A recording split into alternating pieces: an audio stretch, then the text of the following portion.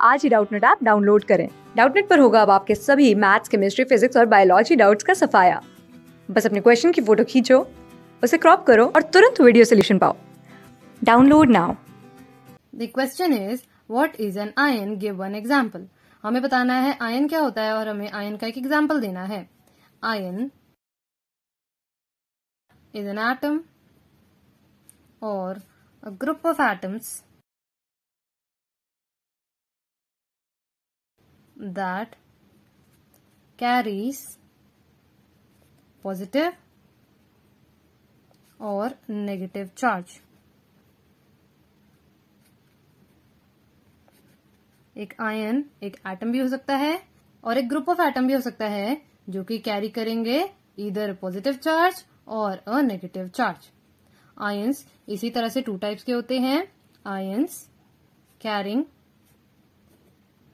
positive charge are called cations and ions carrying carrying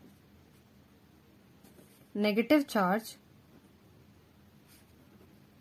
are called anions हमें एक example देना है तो हम यहाँ एक एग्ज़ाम्पल ले लेंगे यहाँ पर हम ले लेंगे आयन एक फॉस्फेट आयन का एग्ज़ाम्पल फॉस्फेट आयन एक एनायन है because it is negatively charge और एक ऐसा आयन है जो कि है ग्रुप ऑफ़ एटम्स यहाँ पर एक फॉस्फोरस है एंड फोर ऑक्सीजन एटम्स है. तो एक ग्रुप ऑफ़ एटम्स के ऊपर एक चार्ज है, इसलिए ये हो गया है एग्ज़ाम्पल ऑफ़ एन आयन इसी तरह हम केटाइन का भी एग्ज़ाम्पल ले सकते हैं. For example N A plus ion ये एक एटम है जिसके ऊपर चार्ज है, ये भी एक आयन है और एन आयन का हमने एग्ज़ाम्पल ले लिया.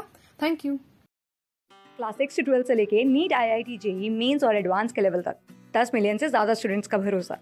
आज ही डाउनलोड करें डाउट नेट ऐप या व्हाट्सएप कीजिए अपने डाउट्स आठ चार सौ चार सौ चार सौ पर।